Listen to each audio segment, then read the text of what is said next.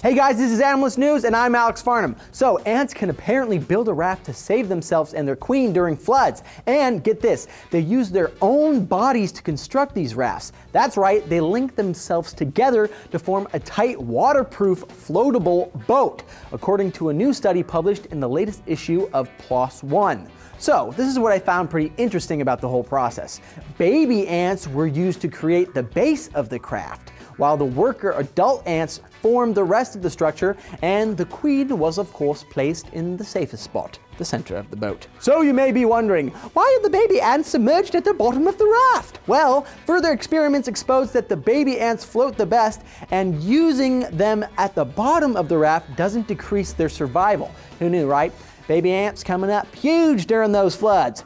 There you go, ants. You go, ants. That ants. Mm-hmm. so tell me, did you guys ever play with ants when you were younger? I bet some of you even ate them just to see what happened. I know I ate a lot of them. I ate a lot of them, especially during recess and during PE. Anyways, let me know in the comments below. And hey, if you guys like our show and you'd like to support us making the show, you can sign up for a free 30-day trial of Netflix. Just sign on to netflix.com slash animalistnews for your free trial. Actually, I just looked it up in that movie Antz, the animation movie.